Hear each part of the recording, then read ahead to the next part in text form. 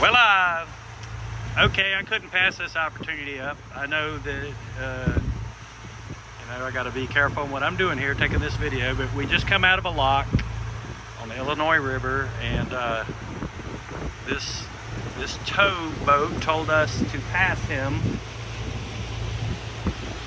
on his starboard side, our port side. Look at that. Each one of those um,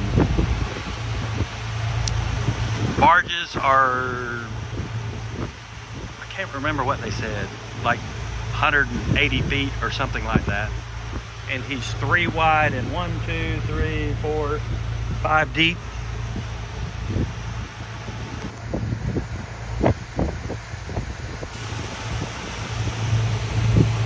He's only running about two knots. And uh, they always got guys out here working on them and doing things.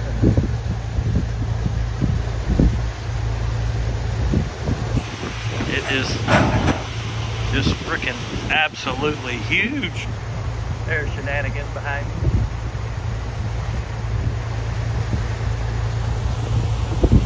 So when those bad boys go to a lock, we have to wait because uh, he's too big for us to get in there with him. So, um, but man, it's awesome.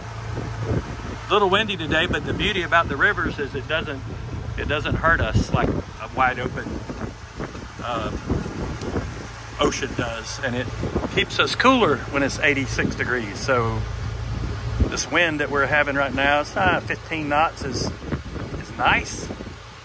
I've never said that about a 15 knot wind on any of the Great Lakes or the oceans. So you enjoy enjoy the days when you get them, and this is one of them. It's awesome. All right, then we're going.